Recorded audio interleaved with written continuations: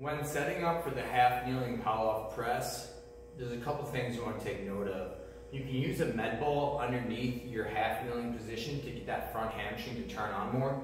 So in this position, Moon is dragging the knee backward and using his hamstring to turn on here. And then this pelvis over here is going to rotate into this groin. And then this knee is gonna stay in place. So I want this to rotate in and then turn this groin and this hamstring on.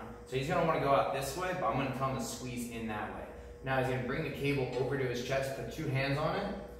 He's gonna reach really long, just like that, good. Now he's gonna bring this back in, back to his chest.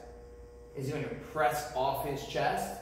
He's gonna inhale, hold position, reach, reach, reach a little more. Now exhale slowly, three, two, one, come back to the chest. That's one rep. Do anywhere from six to 10 reps.